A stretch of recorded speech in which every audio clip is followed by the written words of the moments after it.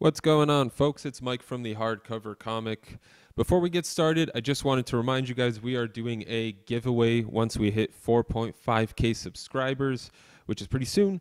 Um, so, for those of you that are interested, be sure to check out the video Matt put up yesterday.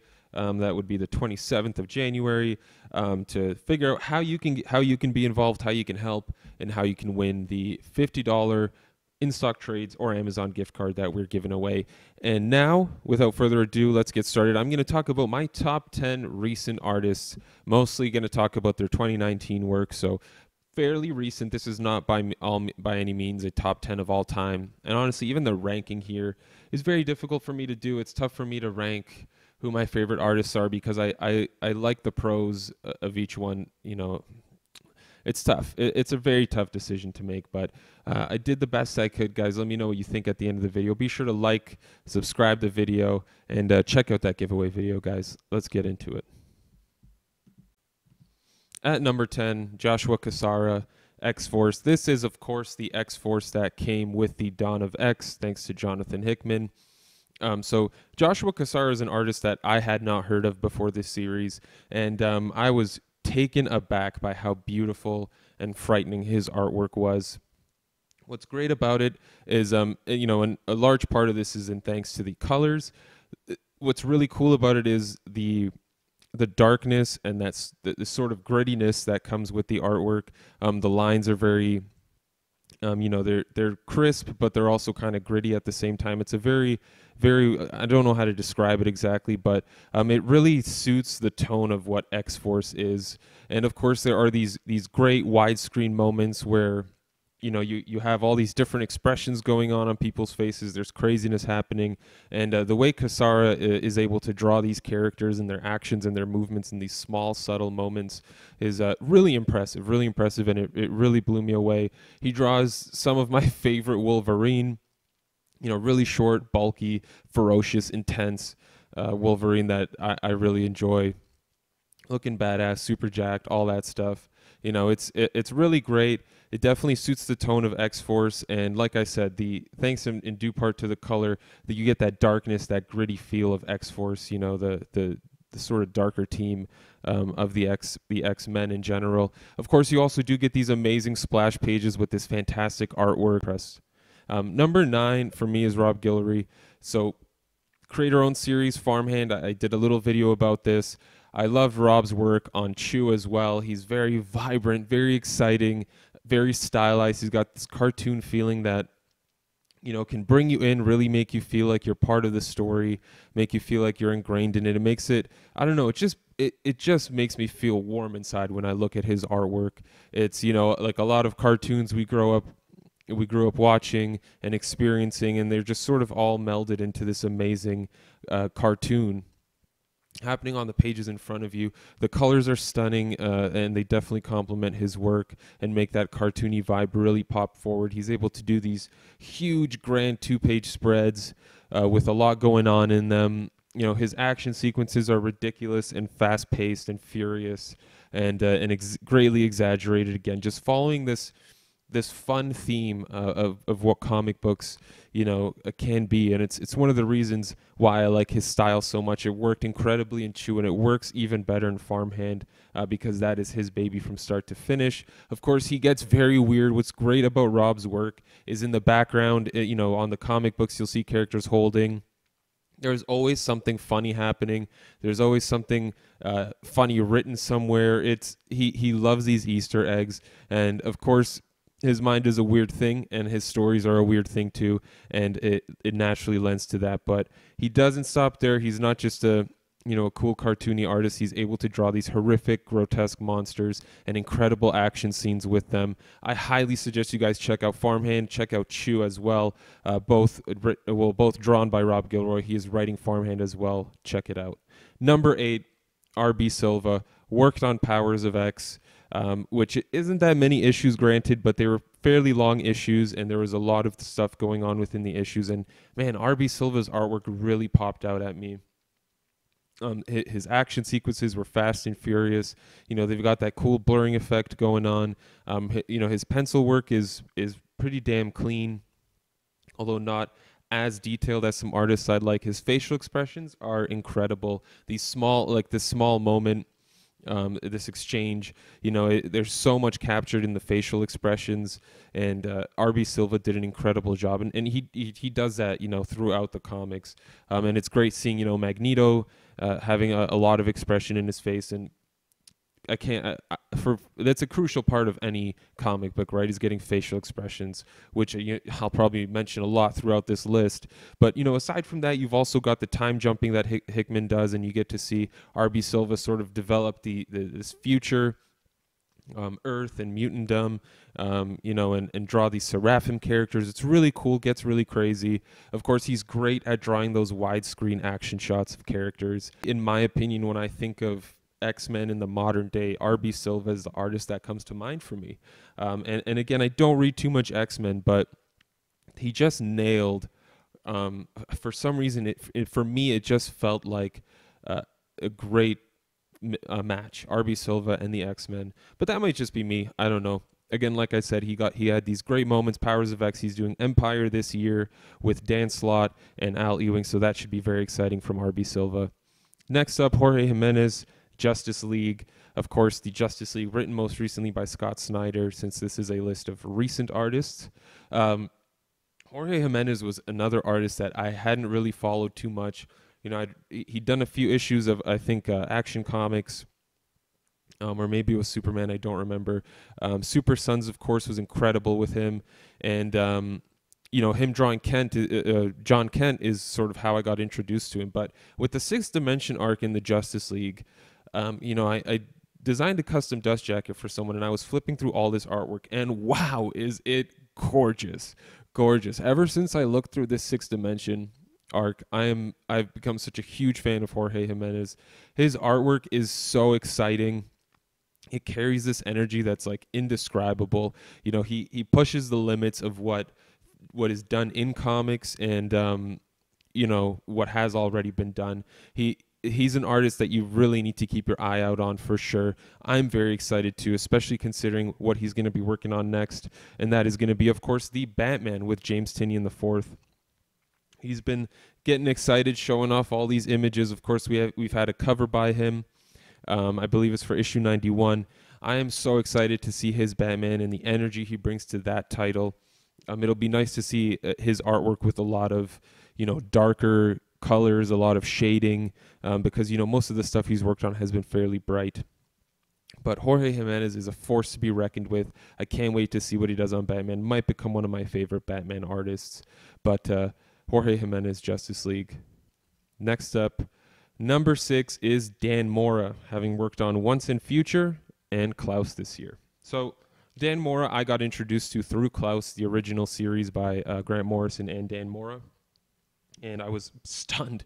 Um, Dan Mora is, you know, again, facial expressions. Dan Mora is amazing at drawing facial expressions. Characters in general, you know, they look consistent throughout the entire storyline. You're never wondering what character might be what.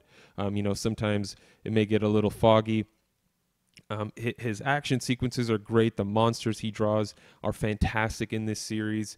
Um, so the series is written by Kieron Gillen. It's uh, being published by Boom. It's a fantastic series um, and in huge part thanks to Dan Mora's uh, artwork. Very crisp, very clean. you get to explore this this world that they're creating, where you know it gets horrific, it gets uh, fast paced and action oriented. Um, it gets very emotional, it gets comedic, it gets suspenseful, and you know Dan Moore is hitting it every on every single note. And like I said, especially when it comes to the facial expressions and the characters interacting and having a conversation. It's got to be exciting. It's got to grab you as a reader. You need to be able to read more than the words can tell you.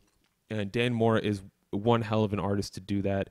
You know, I, have never been so interested in um, in family members talking to each other, and you know, aside from that, once and future, of course, he's been doing Klaus one shots every year in December with Grant Morrison, and those have just pushed the limit every single time. Phenomenal new ideas, beautifully, beautifully drawn by Dan Mora.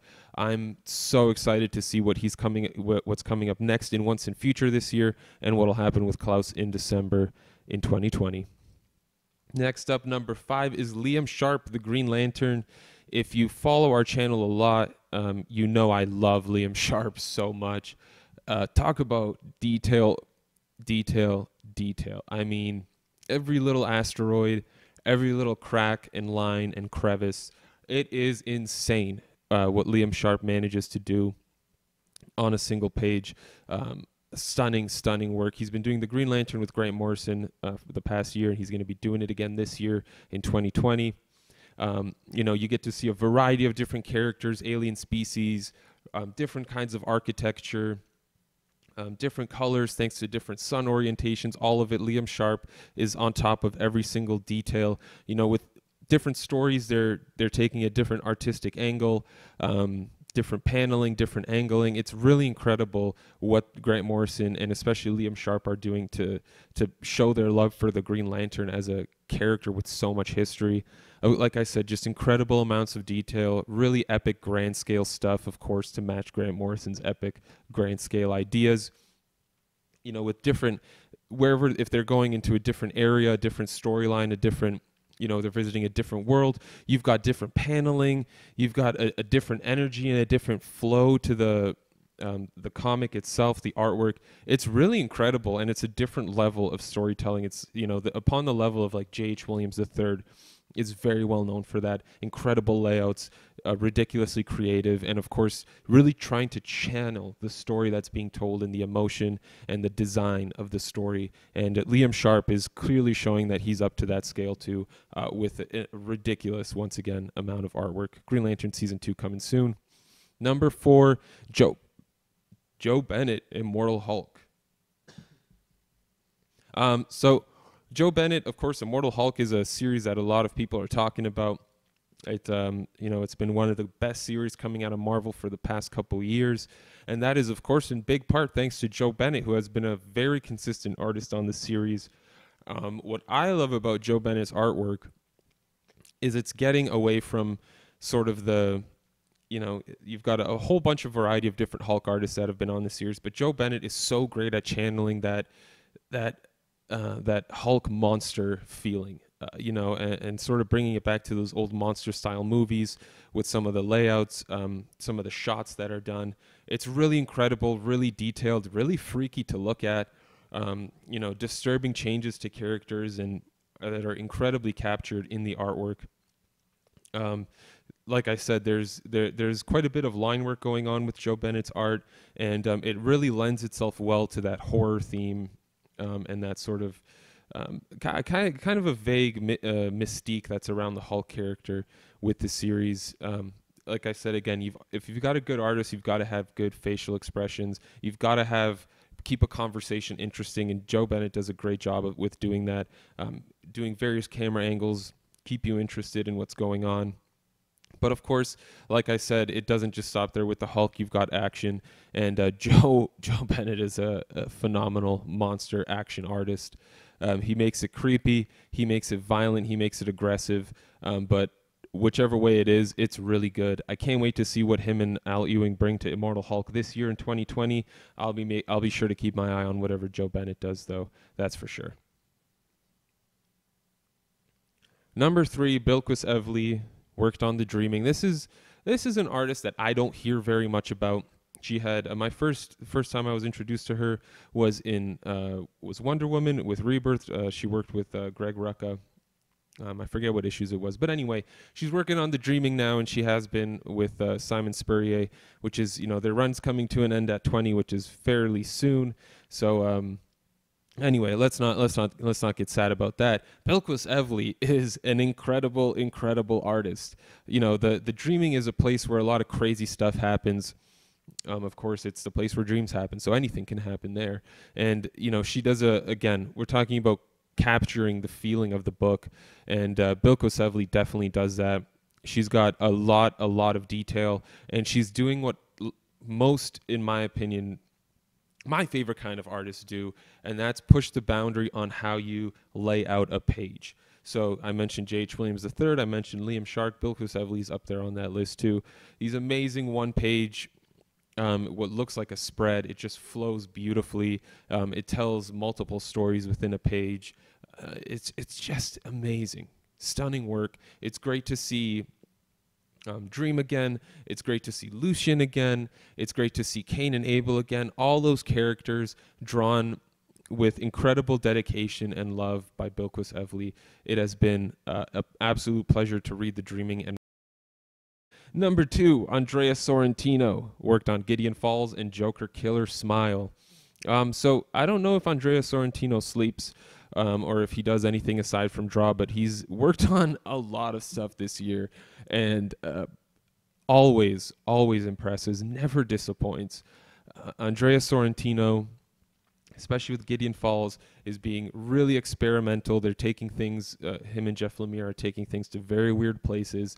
And Andrea Sorrentino's artwork is doing a very fascinating and very um, interesting job, sort of showing how weird how weird these these ideas, how weird Jeff Lemire's ideas are, um, and I, I really wonder what he sort of what what the conversation is when they come up with some of these two page spreads and these one page splash pages, because it's it's beautiful stuff. I've been a fan of Andrea Sorrentino since he I saw first saw his artwork on the Green Arrow with Jeff Lemire.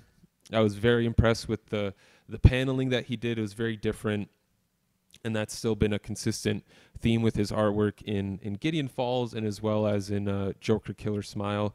Um, I will say his style doesn't change drastically from title to title, uh, like like other artists do.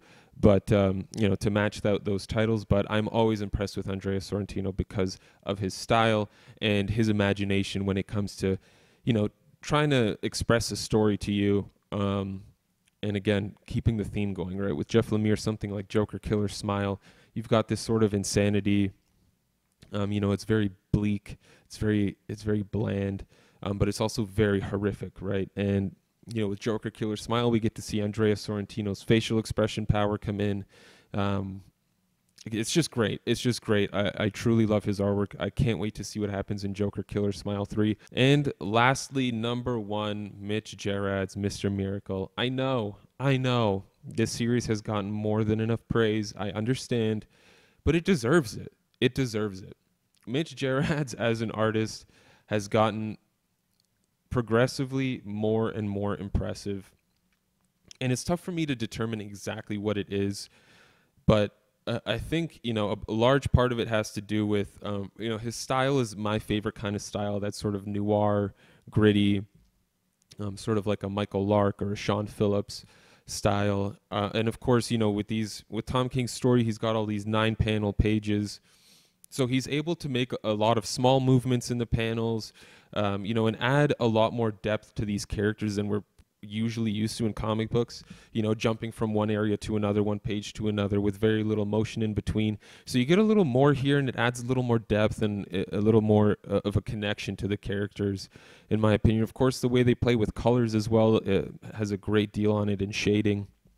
Um, the detail he has though to little things like hair and you know facial markings, facial expressions again are so powerful with Mitch Gerads. And the thing is, he just keeps getting better and better with it. And not only that, but he's able to draw these, you know, sort of smaller scale but more like exciting fight scenes you know where there again you're getting more detail in between the movements right you're not just getting punch here punch there over you know three pages so it's it's interesting uh, to see how that works and then paired with the storyline as well there's something about the Tom King Mitch Gerads combo that for me is has been spot on from from since they started working together up until now and um, Mitch Gerads with the angles, the shots he's doing, the different poses, um, what Tom King's making him do in the storylines. It's just so far out there from what other artists are doing. But um, yeah, Mitch Gerads is for sure my number one uh, artist of you know I guess I'll say 2019. Um, uh, recent times is really a better a better version of that. But um, let me know what you guys thought, what your top 10 artists were uh, are, and this is recent artists. I'm not you know cons- I'm not discounting guys like George Perez and and you know Jack Kirby and John Byrne. There's there are a lot of artists that have made a huge impact on comics over the years. But as as time goes along, they are unable to work on comic books, and so um, the, give me you know a top 10 of your m- more recent favorite artists uh, that you've been reading um, and enjoying their artwork and um, yeah thank you guys very much for tuning in this was mike from the hardcover comic Um, as always, I'm sorry for rambling, but I just love talking comics. Oh well. Until next time, as always, you stay classy, Internet.